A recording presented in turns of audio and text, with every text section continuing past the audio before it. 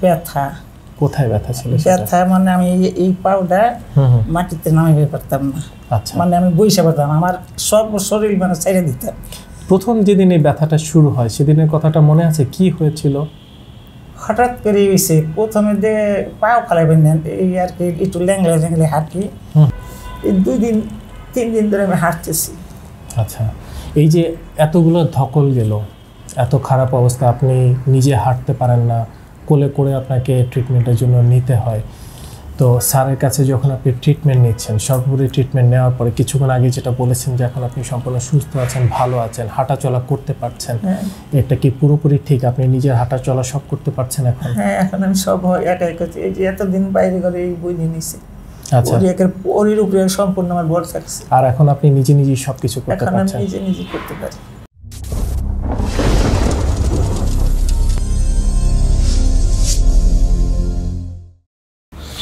আসসালামু আলাইকুম। দর্শক, আশা করি সবাই ভালো আছেন এবং সুস্থ আছেন।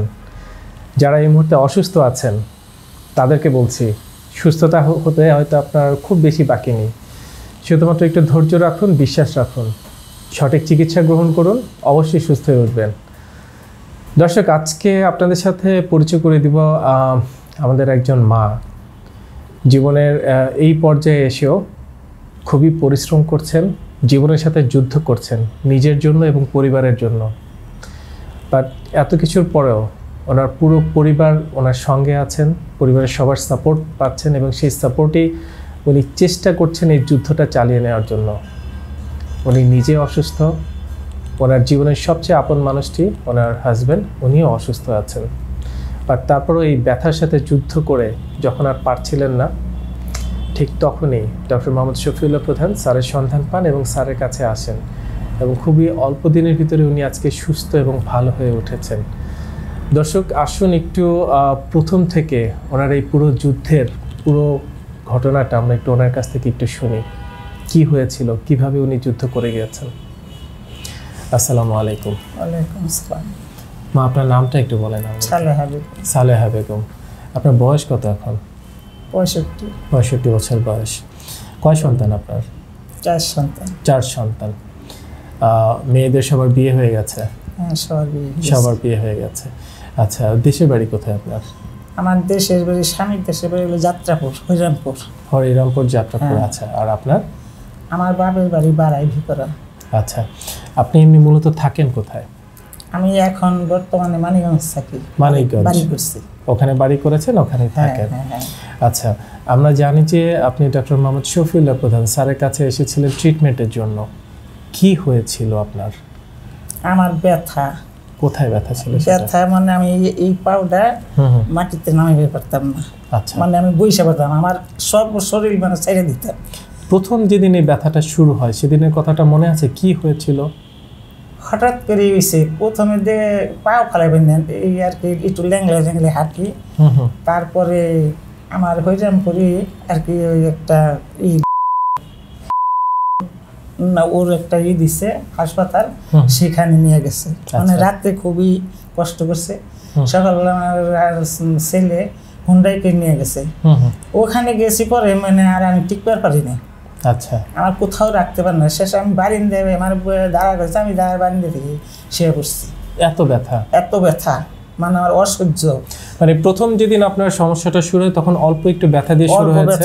আপনি মাটিতে পা দিতে পারছেন না পা দিলে মনে হচ্ছে একটু ব্যথা করছে পাটা ছড়ে যাচ্ছে। হ্যাঁ। আচ্ছা তারপরে এর আগে তো আপনি সংসারের সব কাজ আপনি নিজে সামলেছেন হ্যাঁ, সংসার পুরো সংসার। আপনি করেছেন হ্যাঁ। কর্মঠ মানুষ সব কাজ আপনি নিজে করেছেন। আপনার হাজবেন্ড একজন ব্যাংকার ব্যাংকে চাকরি করতেন। আচ্ছা তো সেই মানুষটা দেখছেন হঠাৎ করে ব্যথা ব্যথা ধীরে ধীরে বাড়ছে। তো প্রথম যখন ব্যথাটা বাড়ে কোনো ডক্টর দেখেছেন নাকি কোনো ডিসপেন্সারি থেকে ওষুধ এনে হ্যাঁ, খেয়েছিলেন? প্রথম যখন আমার এই হাতে আসে আচ্ছা। প্রথমের থেকে আমার বাবা হাতে আসে আমি রোজার মাস এই যে এই রোজা এলে দুই বছর পূরণ হবে। আচ্ছা। এই দুই বছর ধরে এই হাতে আমি এই ডাক ইয়ে এই ঢাকায় ছিলাম হুম হুম। হাতে ব্যথার জন্য। হাতে ব্যথার আচ্ছা। জন্য। তখন ওইখানে আমি ট্রিটমেন্ট করি দুইবার করে আসছি। একবার তো আসছি তখন ওষুধ নিয়ে গেছি তারপরে আসছি তারাই তারিখ দিছে এতটার সময় আপনি আসবেন আমি তো মানিগঞ্জ থেকে আসব আপনার একটা আমরা ডাক্তার দেখাইয়া ছেড়ে দিন আচ্ছা। এখন মনে করো আমি একটা আমার ডাক্তার দেখব তো আমি বারোটার সময় এসে হাজির হয়েছি। হাজির হয়েছি আমি গেছে কাগজপত্র নিয়ে জমা দিছি। বাবারে পাঁচটা সাড়ে পাঁচটা বাজে। হুম। আমার বলল যে আপনি রেল পরীক্ষা করানো লাগবে। হুম। তখন আমি গেলাম রাইগে সারাটা দিন এনে বসে রইলাম। আর আমি আসলাম বারোটায়। আমার কেন? আমার পরে যারা আসে তারা বেরিয়ে গেল। কিন্তু আমি বেরিয়ে পারলাম আমার কাকা ডাকি পড়ে না। আচ্ছা। তখন আমার রাগ ধরে গেল। আমার ছেলের ডাক আমি বললাম কি চলো আমি আর এখানে ডাক্তার দেখুন না। আমি এখন এই সন্ধ্যার সময় ওনার কাছে যাব। তারপরে আমার পরীক্ষা করে আনেন। কোন সময় পরীক্ষা কোন কোন সময় আমার রিপোর্ট তার দিব। সেটাই। এই বলে আমি ওইখান থেকে তারপর আমার ছেলে ওইখানে যেখানে টাকা জমা দিছিলাম ওইখান থেকে যে বলার পরে বলেছেন ধরেন আপনি ষোলোশো টাকা হুম। ভিজিট দিয়ে দিল তারপরে আমি ওইখান থেকে বাড়িতে গেছি।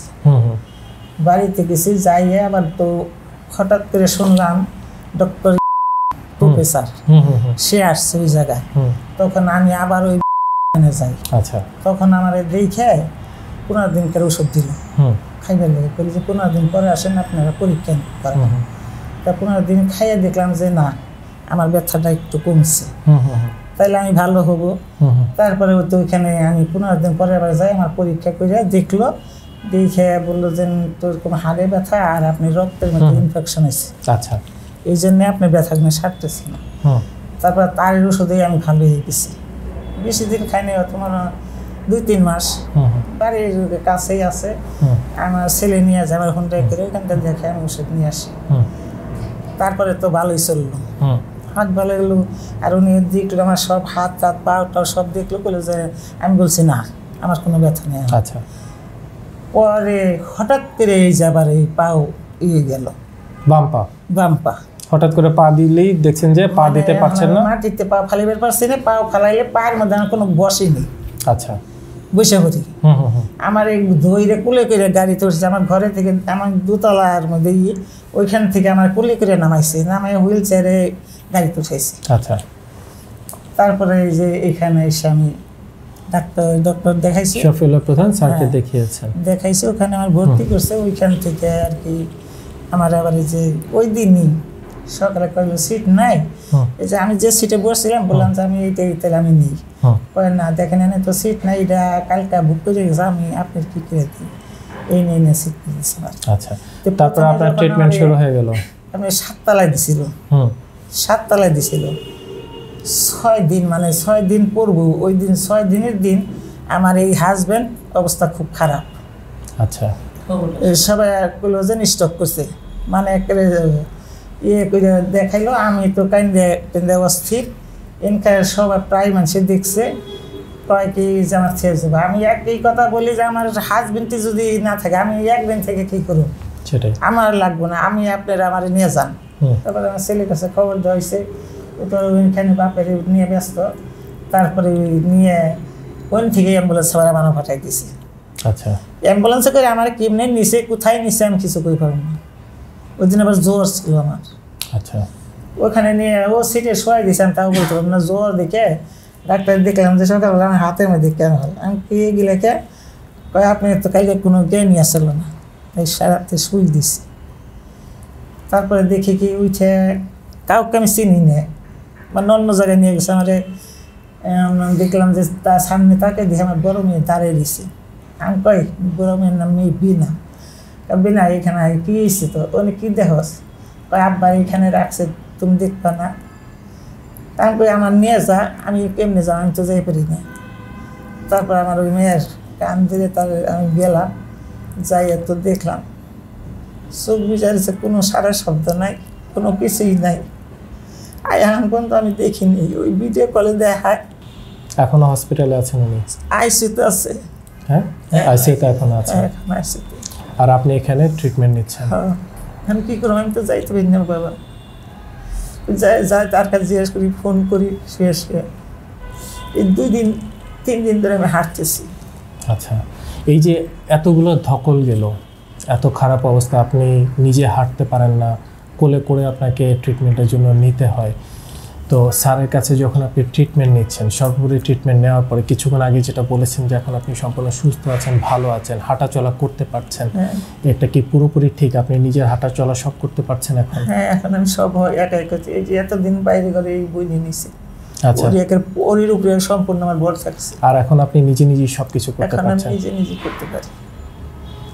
এই যে এত দুঃখ কষ্ট এই যে এতগুলো ঝড়ের ভিতর দিয়ে গিয়েও তারপরেও যে এখন ভালো আছেন সুস্থ আছেন অ্যাটলিস্ট হাঁটতে পারছেন এখন গিয়ে হয়তো আপনার হাজব্যান্ডেরও কিছুটা হয়তো আপনি আমার কোনো ক্ষমতা নাই স্যারের কোনো ক্ষমতা নাই সব কিছুই মালিক একজন। দর্শক এই যে পুরো সময়টাতে ওনার পরিবারের সবার হস্তক্ষেপ ছিল সবাই চেষ্টা করেছেন ওনার বোন আছেন এখানে উপস্থিত যিনি পুরো সময়টাতে ওনার সাথে ছিলেন। একটু ওনার সাথেও কথা বলি যে ওই সময়টাতে কেমন দেখেছিলেন? আর আজকে কেমন দেখছেন ওনার বোনকে? একটু ওনার কাছ থেকে আমরা একটু বিষয়টা একটু আমরা একটু জানার চেষ্টা করি। আসসালামু আলাইকুম। ওয়ালাইকুম সালাম।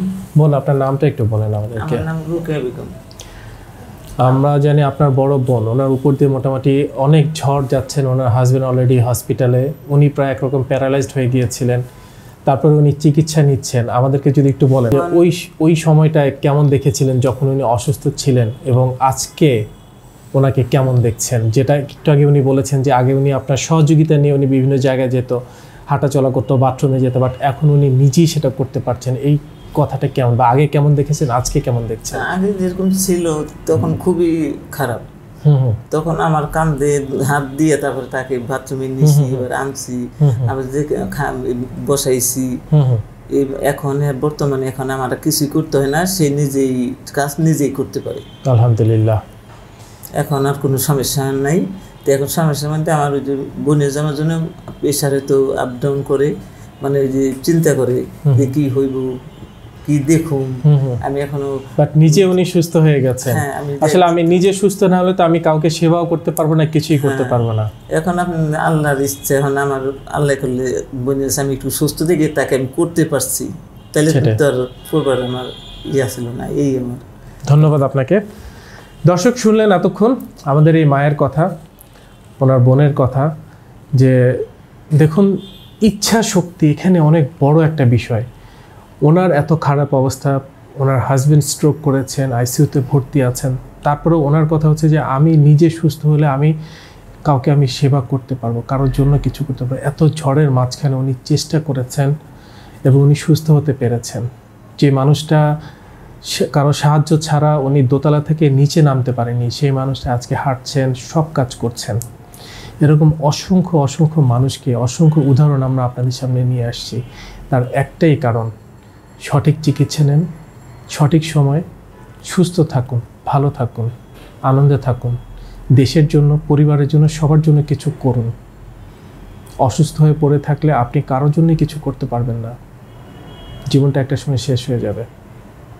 ধন্যবাদ দর্শক, আসসালামু আলাইকুম।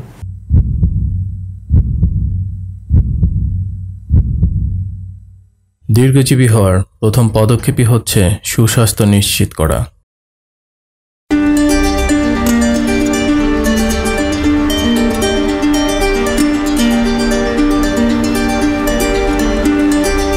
দেহ ও মন ভালো থাকলেই ভালো থাকে স্বাস্থ্য। আমাদের রয়েছে আধুনিক যন্ত্রপাতি। সঠিক ও স্ট্যান্ডার্ড মানের প্যাথোলজি পরীক্ষার নিশ্চয়তা। আমরা রোগীদের প্রতি খুবই যত্নশীল ও আন্তরিক।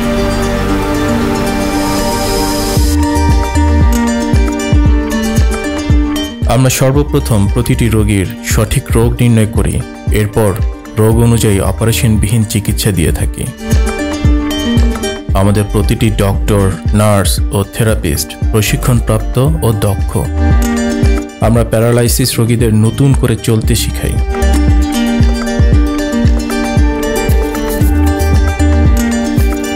আমরা আপনাকে সর্বোচ্চ মানসম্মত আধুনিক চিকিৎসা সেবা প্রদানের নিশ্চয়তা দিচ্ছি। আমরা বিশ্বাস করি আপনি এখানে আপনার নিজ পরিবারের মতোই সেবা পাবেন।